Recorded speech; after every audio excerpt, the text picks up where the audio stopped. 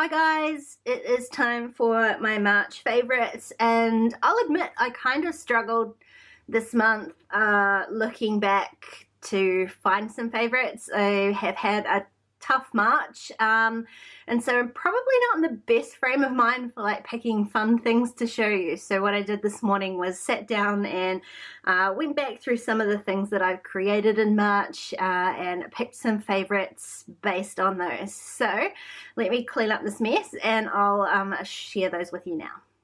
So the first thing I was loving in March was um, my 31 Minutes for 31 Days mini pocket page notebook album. Um, and it, I still feel like it's a favorite, but the reason for that kind of changed throughout the month. So this is one chunky little book, so I did pop it in a fabric traveler notebook cover from the stamp spot just to keep it a little bit protected because um, it is pretty huge. so I shared a few videos um, of this album through through the month. In fact, it may only have been two. I can't really remember to be honest. Um, and I really enjoyed the challenge that I set myself, the taking the selfies and the creating a page.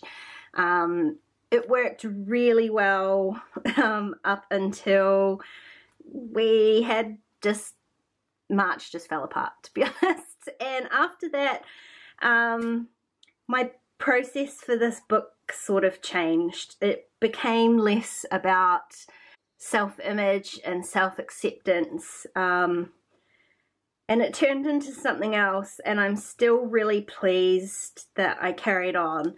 I could have stopped, I easily could have stopped, um, but I decided to keep going. And in all honesty, I kept taking the selfies and I didn't necessarily always put a page together. There are quite a few pages, especially towards the back of this book here, um, where I just didn't get a page done. And I'm okay with that. I'll carry on working through it slowly because I like this book now because it is a statement to myself that I'm here, I'm still standing, these things have happened, um, but it's okay, that you know, you don't have to have uh, a brilliant, perfect selfie uh, every day. Sometimes even when you're having an absolute shitter, um, you can still take a photo of yourself just as a reminder that you can survive whatever's happening to you at the moment. Uh, and that's what this book has turned into. So um, reasonably sure that's the last page I managed to get done. I have printed out my photos and just popped them into the book and I will work my way through here slowly. I've only got a few more to do. Um, but it's just, it's taken me a while to come back. We've had several setbacks uh, this month, so I'm just taking it easy on myself and I will finish this when I finish it basically that's you know, this is as much as I've done. When I do eventually finish this book, I will do a proper walkthrough with you and show you some of the things that I've done um, and explain a bit more about what happened. But at the moment, this is definitely a favourite. It's a uh, reminder of a terrible month and that I have made it through and can carry on moving forward. My next favourite is somewhat less existential. Um, it's a T-square ruler and it really has changed how I do things. Um, I think I first saw Missy Whidden using these and I was trying to track down a smaller one and if you saw my haul video you'll know all about the um, misreading uh, that allowed me to buy one that's so huge I can't even show you here on camera but um, I did finally track down a 30 centimeter one or a 12 inch one and it has just made such a difference for getting straight lines and straight journaling in both my traveler's notebooks and uh, scrapbook layouts so this was a real lifesaver and I'm super pleased that I managed to track one down. So my next favourite is a tiny bit difficult to show you because I literally have nothing left. Actually, that's not true. Hold on. This is all I've got left. I have one piece of Heidi Swapp specialty paper um, and this is involved in a whole different favourite. So my favourite was the March scrapbook add-on kit from Citrus Twist and like I say I used every last scrap of that sucker um, and the favourite thing I made with it was a bunch of 3 by 4 journal cards, filler cards, um, just fun little things that I made to fill up a bit of time. So I'll insert some pictures here of the things that I'm talking about because that's all I've got left. What I did with these cards is put together a couple of pocket letters. Um, once I had the cards made, that was super easy. I just popped them into some pocket pages and added a few other little extra bits and pieces, mostly from the kit, plus a few embellishments that I had sitting around my desk.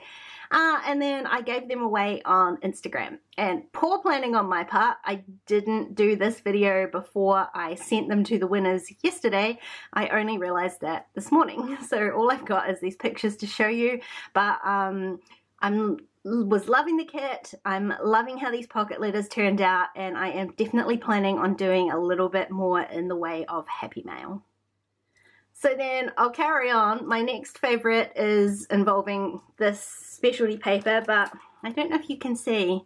I didn't actually use it as a specialty paper as much as I used it as a stencil um, because one of the things I've been loving doing this month is using sort of modeling paste or um, impasto gel and doing some stenciling. I don't do mixed media very often as you'll know um, but I have had a bit of fun with that this month. So I think it actually started in my 31 minutes book on this page here. So this was that stencil down there and it's kind of hard to tell but for this one here I used a little bit of impasto gel. I just used this one here mixed with some Perfect Pearls Perfect Pearl powder.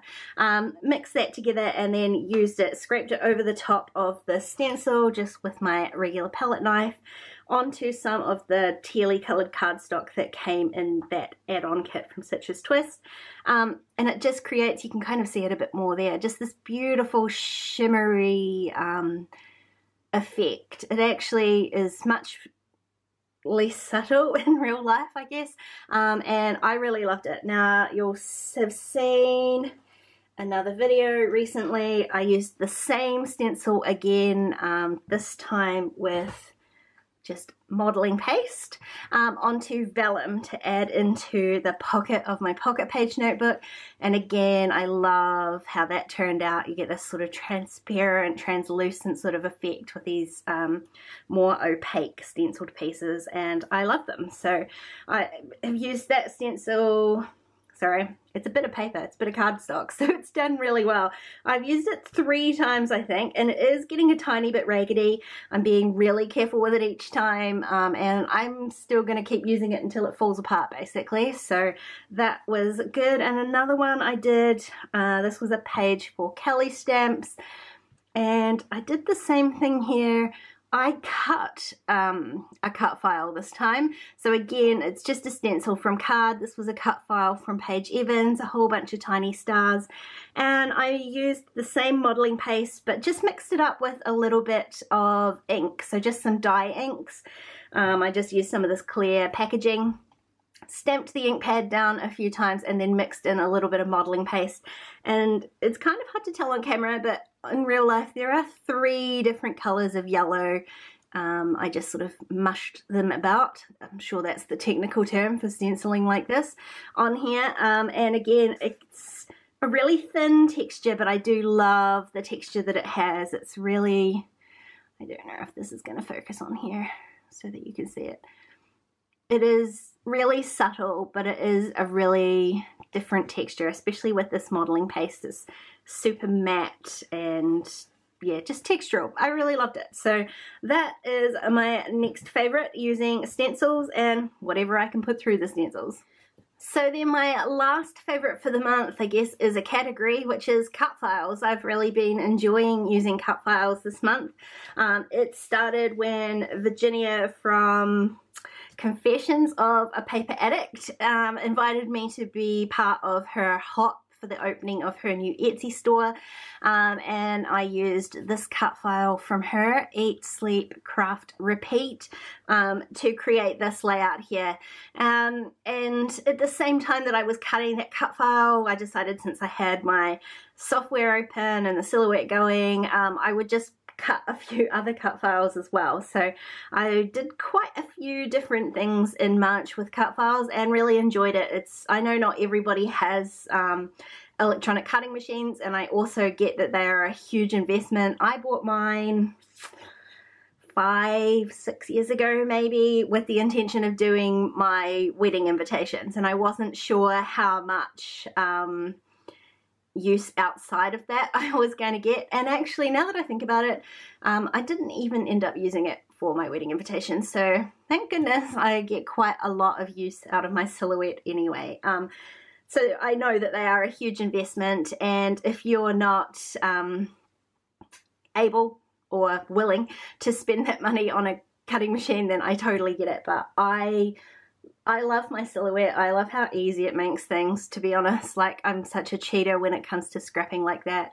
Um, I can cut this title, I can cut the little inside pieces, put it all together and stick it on a page and be done really quickly. And that's the sort of thing that I love about it. Plus, I get to use everybody else's genius. So this is another cut file from... Um, the Confessions of a Paper Addict store and I just used it to create this little page of Lily and each letter, they weren't all fill-in ones which was even more brilliant um, so I only had to fill in a few. These ones I used some Rosie Studio, I think it's the Sugar Belle line uh, and then for the letters I just added a few little things about Lily that matched those um, those letters. So again, super easy way to fill in a page, but also a super easy way for me to work out what journaling I want to use.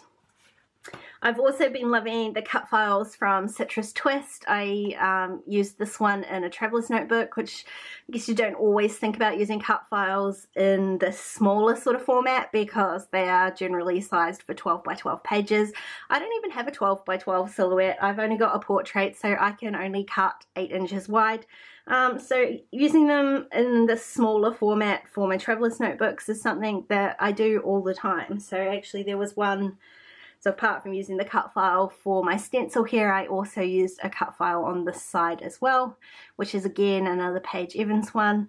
Um, and these smaller cut files, I really love them for traveler's notebooks um, too, again for the ease of it and um, yeah, so many gorgeous cut files out there, I just can't stop buying them.